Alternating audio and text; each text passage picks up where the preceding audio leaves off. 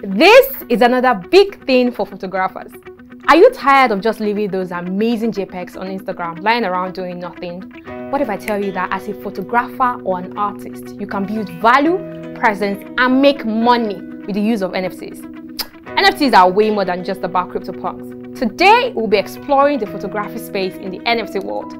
Let's take some pictures.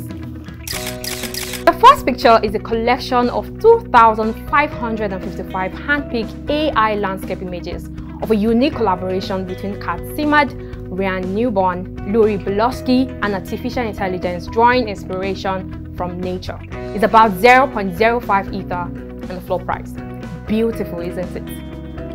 Where My Vans Go is a collection of 123 iconic images created over the span of three years exploring all over the United States, from coast to coast, between borders and beyond. This series represents the journey of the photographer and the person and the artist he has become. The floor price is about 39 Ether. And the last set you see right now is this unique collection of Genesis mints anchored by Michael Jordan, 1984 Olympics, by Walter Iooss Jr., an edition of 100 this collection also houses Genesis one-by-one NFTs on the blockchain by photographers Sante D'Orazio, Christopher Anderson, Wayne Lawrence, and Katy Gonzalez. The floor price is about 65 Ether.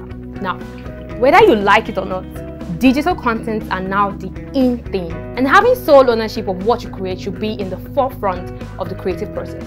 Watch this video to see how to start your NFT journey. As a photographer or a creative at large, would you like to take advantage of this space? Let me know in the comment section below and don't forget to drop your questions too. Think and Anathon. Redefining learning.